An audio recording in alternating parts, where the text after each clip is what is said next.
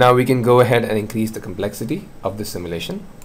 So what we can do is now I can go back to the first tab that was there where I created the mesh and the section properties. Now I can introduce um, virtual bolts as explained before and then I can also introduce contact. So, but for virtual bolts, what I have to do before I introduce virtual bolts, I have to delete the existing tie connection that was created. So to do that, you can go into the manager right here. You can either deactivate the tie by uh, clicking the check, uh, toggling it off, or you can actually remove it by clicking on delete. So in this case, I'm just going to delete it so that we have no uh, manager, uh, we have no tie connections. And close it. Now we can click on virtual bolts right here uh, what virtual bolts do is uh, you have to select two supports between which the bolt, virtual bolt will be created. So it is going to end up creating a coupling uh, for both the selected faces. It's going to create two individual couplings for both selected faces. And then it is going to uh, join the, the reference points of the two couplings with a connector element. That is basically what virtual bolts do.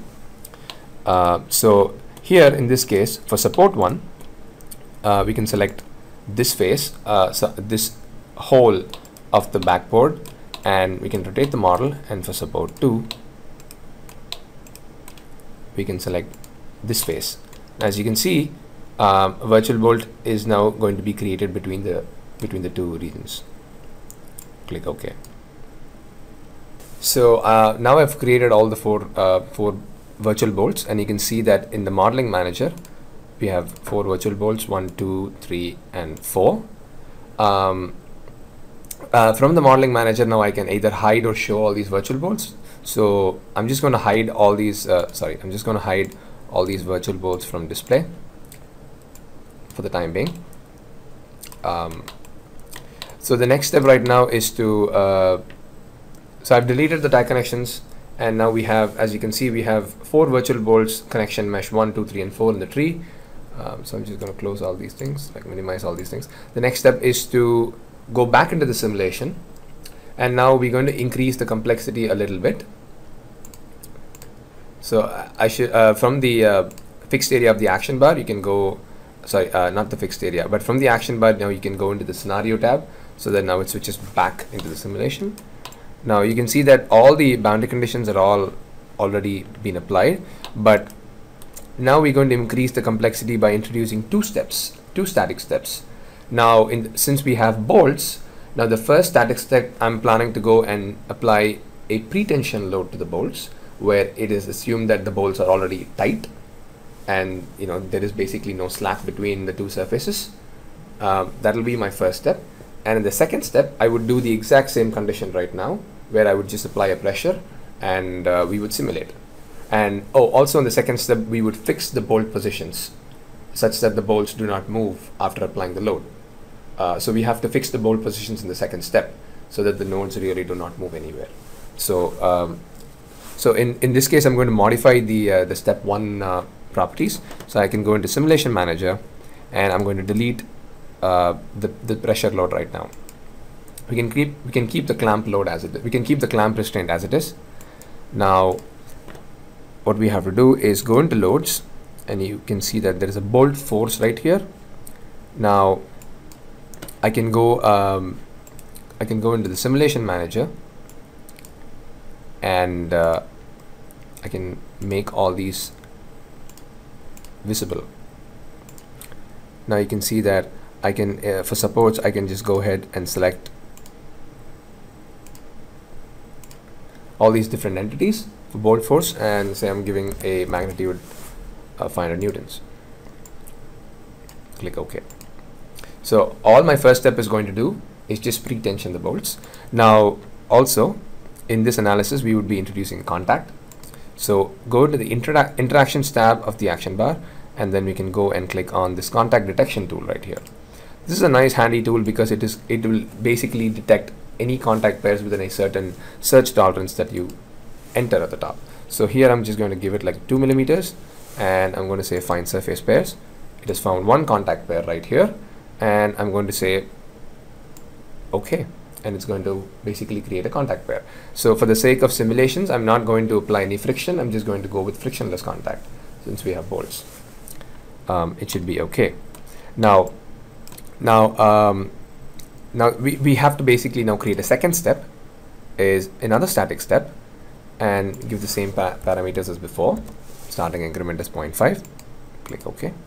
Now in this static step, what I would do is um, before before I go, uh, I want to basically hide the mesh so that the the rest of things are visible. Now in the second step, I would go into the restraints tab, and as mentioned before, I need to fix the position of the bolts in the second step. So I can go into bolt restraint and basically click all the individual connections, all the bolt con connections and click OK. So you can see that the glyphs have changed um, such that it's going to be restrained in the second step. And also I am going to apply the, the pressure load at the same location as before. And click OK. Now, as you can see, this is all I would be doing. So this is just an extension of the previous analysis where we're making things a little more realistic. So if you want to toggle between steps, you can always click the drop down and change whatever step you want to. And then you can apply, so you can see that the glyphs have automatically disappeared, which means that that's not active in that step. And now it's active. The other way of finding out uh, what parameters are active in different steps is you can right click the viewport and select simulation manager you would basically see in the simulation tab, you would basically see uh, static step 1, static step 2. You would see bolt forces that are being applied. Now, I don't want the bolt forces to be applied in the second step. Now, for that, what we have to do is we have to deactivate this in the second step. So right click this particular section and click deactivate. So now the bolt force is applied in the first step. The bolt restraint is applied in the second step. You're going to have contact in both the steps you're going to have clamp in both the steps and you will have pressure in the second step as expected. So looks like my simulation is all set up. Now what, we, what I can do is go into the simulation simulate tab and click simulate. And we have the same parameters as before. You can click OK. Now the simulation will run and once it's complete, we can see the results. So it looks like this simulation is complete and uh, you can see that we have severe uh, discontinuous iterations, which basically says that there is contact in the problem.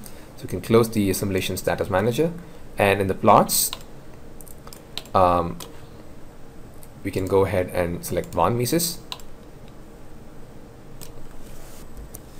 So um, the results for uh, the step one is basically it says that the von Mises um, stress is 8, 86 and it also shows you certain contours near the uh, locations of the bolt where, where we define the virtual bolts. So that is consistent with how we have defined uh, the simulation entities. Now we can go to the top here and select static step 2 and you can see that the magnitude is actually very much comparable to what we saw when we tied the uh, when we tied both the parts together and we can also see that the deflection is also very much comparable. We can go to displacement and then check and we can see that the behavior is pretty consistent that this is the most uh, uh, this this is the part of the entire assembly that has the most deflection so that is very consistent. That's great. Uh, since we now have contact in the problem can we see what the contact pressure is between the backboard and the hoop? Uh sure. We just go here. So here I can just uh, drop down and change in the contact pressure. And you can see that you can see that since this is the only interface where we have contact only that is uh, basically highlighted with uh, different contours now to basically visualize how the patch looks like uh, we can go into the or we can just click on this particular uh, backboard and then we can go and click on display groups now here uh, basically what, what I'm doing is I'm selecting display group remove tool and now I can just go and click the backboard and it's going to take it away. Now as you can see that this is the uh, the contact pressure surface and since the since pressure is being applied over here it is uh, intended for this entire uh, rim part to basically deflect towards on the top which basically says that the bottom part over here will get more in contact with the uh, with the backboard. And that is why we have um, a spike over here in the stresses in, in the contact pressure and now to to basically display all the parts you can click on restore all and it's going to bring back everything in display click ok and you can change it back into von Mises. That's fantastic. Thank you so much, Akshay, for walking me through these different scenarios. And I look forward to going back to my desk and trying it on my own. No problem, Laurie. Good luck. Thanks.